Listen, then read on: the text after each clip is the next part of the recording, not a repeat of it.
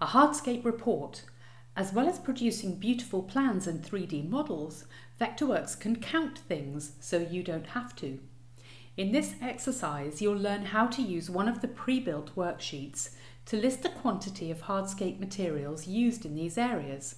You'll learn how to change the formatting of this worksheet to suit your own unit of measure and local currency. Make Notes Reports the active class on the navigation palette. On the resource browser, use the Files menu to list the contents of the Design Build sample file. Scroll down to the Worksheets heading and locate the worksheet called Hardscapes Budget. Drag this worksheet onto your drawing. Notice that it lists by name each area created with the Hardscape tool, with its perimeter, area in the current document area unit setting, price per square foot, and the total cost. Double-click the worksheet on the drawing to open it in its own window. If you're a spreadsheet user, many of the functions in worksheets are similar, but without as many fancy buttons as a modern spreadsheet. Choose View, Database Headers. A new row opens that contains all the clever calculations needed to read your design and list your hardscapes. Click in cell B3, just below the word perimeter. Choose Format Cells.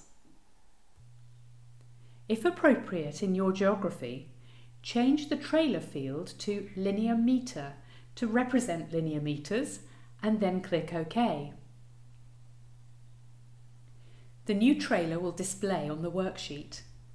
Click on cell D3 directly below price per square foot.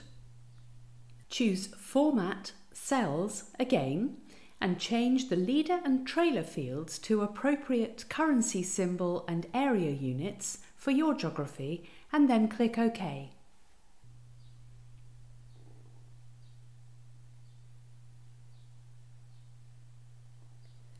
Repeat the process for the price column and cell E4 at the bottom of the price column.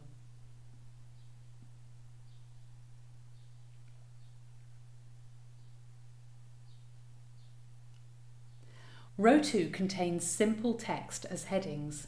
Click on each cell that needs changing and then edit the text in the edit box at the top of the worksheet window and then press enter. Click on cell D3.1. Enter a price per area measurement, for example 50. Notice the total cost for this row increases, as does the total at the bottom of the spreadsheet. This worksheet has been set up to calculate the total price for each area based on the cost per square area. The values are correct wherever you're working because of the unit settings in your file. Choose View, Database Headers again to hide the row with all the clever bits. Close the worksheet window by clicking on the red button at the top left of the window on a Macintosh or clicking the X at the top right of the window on a Windows machine. The updated worksheet displays on the drawing. For now, select and delete the worksheet. It's now a resource of this file and we will use it later. For now, keep the file open. We'll continue working with it in the next section.